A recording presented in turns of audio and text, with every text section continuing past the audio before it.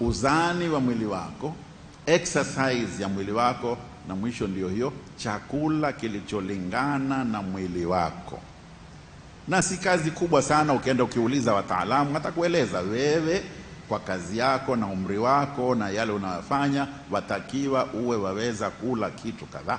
Utaelezwa na utaelewa na utasikia, utasikiza, ndio utaweza kufuata.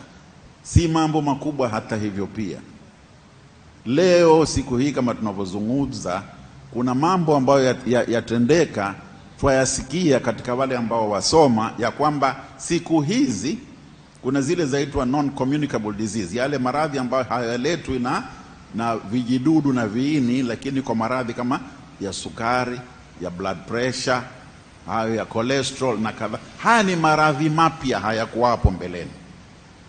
Kenya hii yetu ndio laboratory kubwa dunia nzima ambapo blood pressure ilisomwa sana. 1930 kurudi nyuma, hakukuwa na mwafrika mweusi aliyekuwa na blood pressure kabisa. Wale madaktari wa kizungu waliokuwa wakija hapa kutibu wazungu wenzao, kisha mwishowe wakasema watawatibu na Waafrika pia. Katika kupima pima kwao walikuwa na, wakifanya mikutano na kuru wote walikuwa madaktari 30 kila baada ya miezi miwili wakikongamana, wakijerikana. Ikawa jamani, kuna mmoja wenu ambaye ashamwona mwafrika na pressure? Kila mmoja sema mimi kwa hakika la. Kuna mmoja akiitwa Donison akasema wale wanaoambiwa uende Afrika ukavumbue, basi mimi nitakuwa ni mmoja. Mimi ndo nitakuwa wa kwanza nimvumbue mwafrika mweusi mwenye presha. Alikaa hapa miaka miwili unusu akifanya kazi Kisii, siku zile kiitwa Kavirondo. Angiae ndani ya geti ya, ya ile hospitali yake akiwa ni mgonjwa, akiwa ameleta mgonjwa, akiwa ni dreva wa yule mgonjwa akiwa ameleta bahasha tu, ametumwa ni mail, lazima kwanza mlangoni apimwe presha, kisha ndio aingie hospitali. Miaka miwili unusu mpaka akasafiri akaenda zake, hakumpata mwafrika hata mmoja mwenye presha. Wa pili akiitwa Jerry Shepa, na alikuwa ni mwalimu wangu mimi, na ndiye alinifundisha. Aliwata Makerere akatuata, akasema Donison hakumpata mwafrika anamtafuta kubaya, ngoja mimi nzunguke. Akanunua Land Rover na akapewa pesa, akazunguka miaka mitatu hii Kenya yote akitafuta mwafrika mwenye presha. Akienda kwa Wamasai, akienda kwa Warandile, akienda kwa Wakalanjini, akazunguka. Presha za mwafrika zilikuwa sawa wastani, na baada ya miaka arobaini zikishuka, sio kupanda sasa presha kila ukikua yazidi kupanda, lakini siku zile kila ukikua yazidi kushuka. Naye naye baada ya miaka mitatu akasema mwafrika hana presha. Kilicholeta pressure ni nini? Sasa?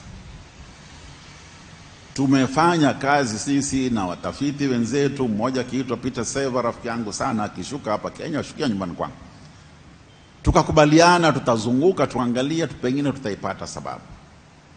Akenda Ujaluoni kule, kuna mahali kwaitwa Saradidi, akaangalia vile vijiji vya kule vyote, na wakapimwa watu wote, nyumba baada ya nyumba, hakuna mwenye pressure Na si mbali, miaka 35 tu iliyopita, kisha wale wavulana na wasichana wote wakapewa vikaratasi na namba za simu, nendeni kokote mtakako katika, katika Kenya hii kutafuta kazi na mashughuli zenu lakini kila baada ya miezi mitatu nipigieni mimi simu, unaambia uko wapi?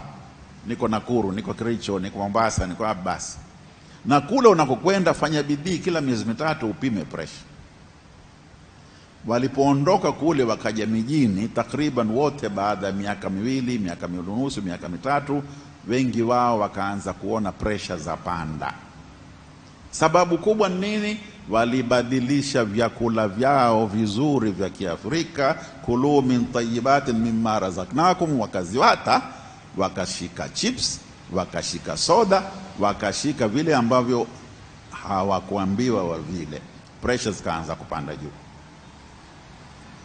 na ndicho chanzo cha presha. Tukaangalia tukaona ni chumvi. Zamani sisi tukila chumvi duni ya gramu tano gramu tatu unusu mpaka tano khalas. Sasa twatumia chumvi gramu kumi na tano kila mtu.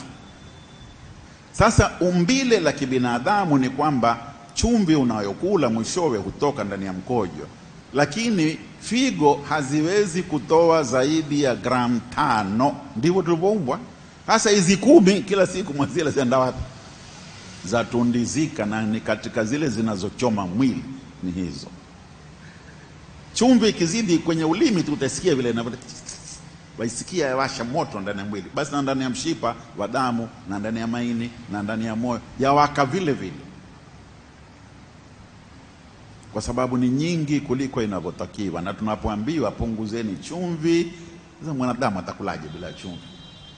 Kwani hakuliki bila chumvi? Kwalika, lakini ni mazoezi, ni mpaka mjifunze kuipunguza chumvi, na mtapunguza maafa mengi ndani ya mwili. Pili ni sukari.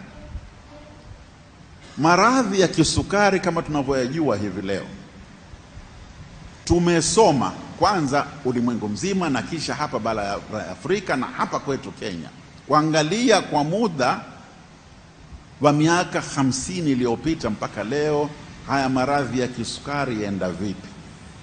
Ghana wamefanya census kama hii tunayofanya sasa mara tano.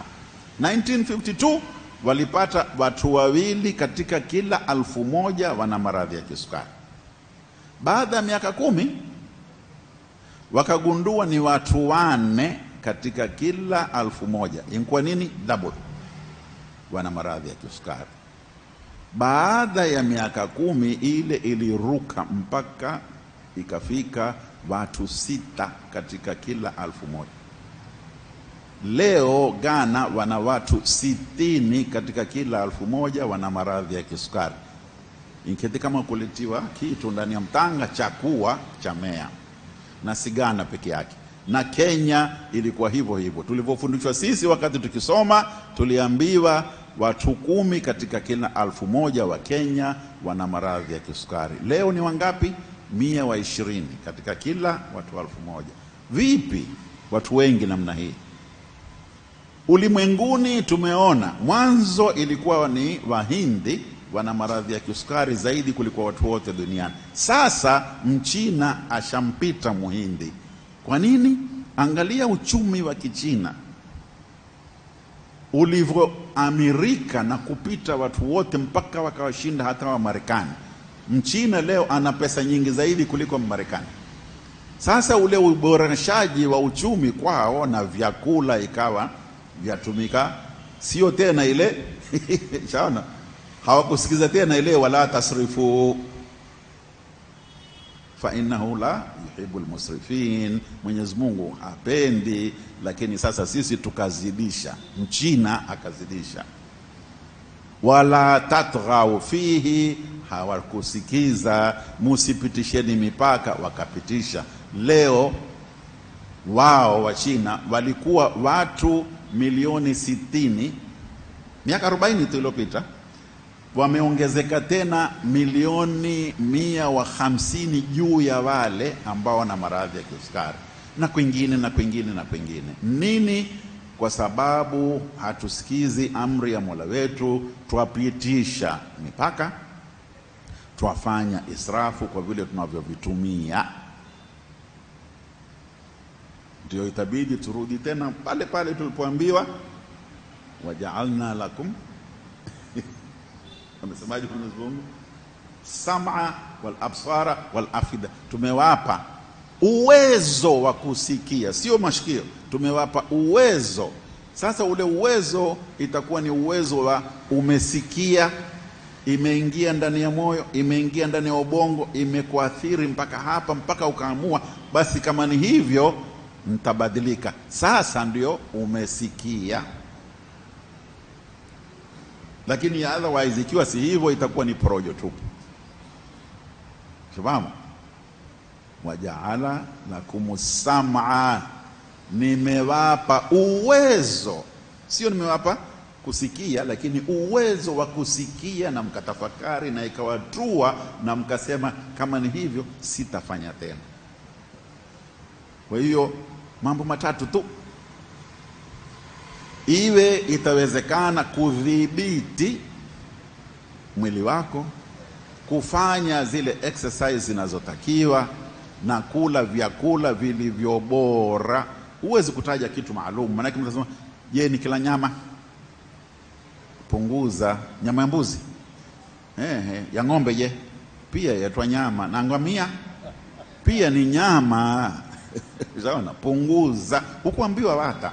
Kwa nini tukaambiwa punguza? Muna sumu nyingi ndani ya nyama hizo, cholesterol mnazosikia, uric acid mnazosikia, zote zatokana na ile nyama. Kula samaki, kula kuku, kula wa ndege wale na nini na kadhalika, ni bora zaidi na zaidi zaidi. Kuleni mboga kwa wingi zaidi, mboga zote, kila sampuli, ikiwa ni mchicha, ni mnavu, ikiwa vyovyote vile, tanganyisheni na mabiringiani na nini, mule kwa vizuri, zile zina baraka zaidi. Ikiwa ni lazima iwe vikaangwe, kaangeni kwa mafuta ya miti, mafuta ya uto, mafuta ya zeti, mafuta ya sunflower, yale mafuta yale, sio samli inayotokana na mnyama.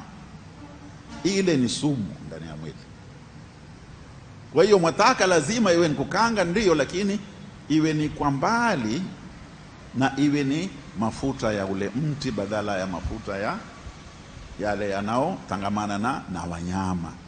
Haya maneno yako na yasemwa na kila siku twayasema na tutaendelea kuyasema.